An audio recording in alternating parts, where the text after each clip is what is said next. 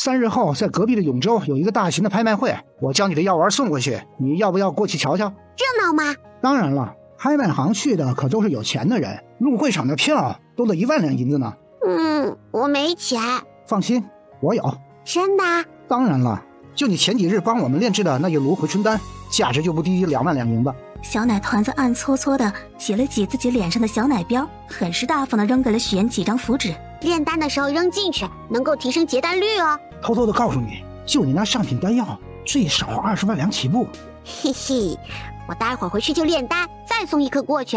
好啊，好啊。回到县衙时，天已经完全黑沉了下来。晚饭后，小奶团子便将自己关在了房间内，开始炼制丹药了起来。深夜。小奶团子将刚炼制好的美颜丹用药瓶子一粒粒的装好，准备去萧敬哲那睡时，牢房那边却忽然出了动静，走水了，走水了！小奶团子心中一凛，立即赶了过去。见着才一小会儿的功夫，牢房便燃起了熊熊烈火，二话不说便跃上了不远处的房屋顶上。只见他小脸一片严肃，凌空画了几个符篆，小嘴对着符篆念叨了几句，小手绘制了一个手诀，一声轻喝从空中溢出。去！似转非转的图案骤然放大，散发出了一道道金色的光芒，冲天而去。雷鸣声和闪电的声音相继响了起来，大雨说下就下，就像是龙王嫁女儿般，哭闹不止。不过一小会儿的功夫，牢房那边的火势便被大雨给扑灭了。听到动静的萧敬哲正准备出门去瞧瞧，便见小奶团子摇摇晃晃着自己的小身子，一副困倦的不行的模样，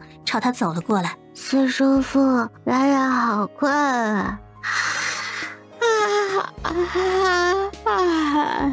小奶团子打了个大大的哈欠，便困倦的倒在了萧敬哲的怀里。冉冉，冉冉，嗯，冉冉要睡觉，再吵我揍你啊！主子，冉冉小姐是睡着了，没事的。秦时，你过去瞧瞧是怎么回事？这火来的太过于蹊跷了，屋外注意下那武家小姐，好好的让人守着。是。地牢那边。